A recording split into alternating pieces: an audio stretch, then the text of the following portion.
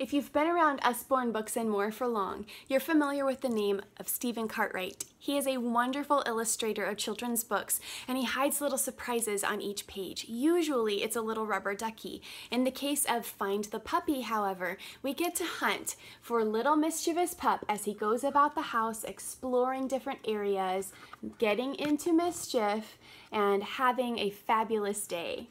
I love Find the Puppy, wonderful thick board pages, and then at the end it lists all these different things we can go back and find. So it's perfect for so many different levels of little readers. Find the Puppy, there's another similar one called Find the Duck, which yes, incorporates his famous little rubber ducky.